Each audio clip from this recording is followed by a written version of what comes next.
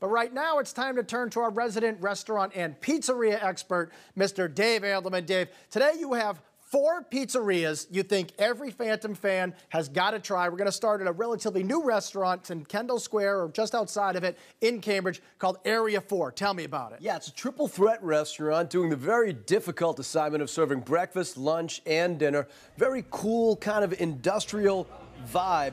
And they have wood burning ovens that make terrific pizza. I love their pepperoni, has just the right amount of spice. They do an excellent sausage pizza with uh, banana pepper. Mm. But their best pie is the Wellfleet clam and bacon pizza. A clam and bacon pizza. I know that sounds like it might not work, but mm. somehow, like scallops and bacon that you think wouldn't work, this is a really delicious pie. Yeah, you look at it, and I, I, like the, the crust on these things. Very golden, mm. definitely very crispy, very thin. Looks like the real deal in terms of Italian style, so I like it with the invention of the clams and the bacon. Now, a lot of people like me, they like that thin style crust. I mean, especially around here, people want thin pizza. One of your favorite places for that thin style is Sweet Tomatoes. They're in Newton, they're also in Needham. Tell me about it. Yeah. Yeah, Sweet Tomatoes really makes great pizza, and it is thin crust. But what's so unusual here, it's really not a tomato sauce. Right. This is actual diced tomatoes. So every time you take a bite, you get a big burst of flavor in your mouth. And it's not too filling. You can go through, you know, four, five, six slices here, Dan, very, very easily. Yes, I do. Yes, I do.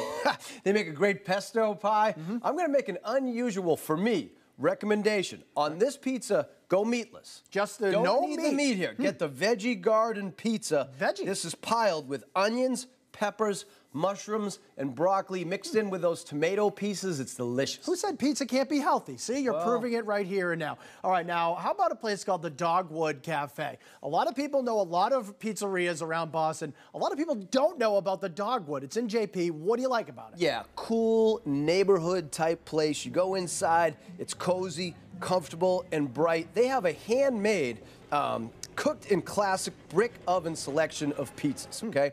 And for some reason, they're all named after trees. Trees? I guess there's a lot of different kind of trees in Jamaica Plain. I never they, knew this. They do have a lot of trees in okay. Jamaica Plain. So they have a spruce pizza with arugula, mozzarella, and prosciutto, a sequoia pizza with buffalo chicken, red onion, and roasted tomato. And I like the redwood pizza. The okay? redwood. That's this thing nice has sausage, pepperoni, hamburger, and prosciutto. There That's my kind of slice there. I like that you're the kind of guy that will you know, you know to get the meat lovers redwood at that place. And at the place before, I just do the veggies. I do I broccoli. Play and the strength of any given restaurant menu. That's what I do. That's what makes you so great. Now, last but not least, certainly when you talk about pizzerias people have to try. A place I've gone to a lot. One of my personal favorite pizza places. You love it too. It's called Pino's Pizza. It's legendary, right in Cleveland Circle, Brighton area. What do you like about Pino's? Yeah, for years there was this uh, big Brookline pizza battle between Pino's and Presto's. Yes. Presto's no longer around.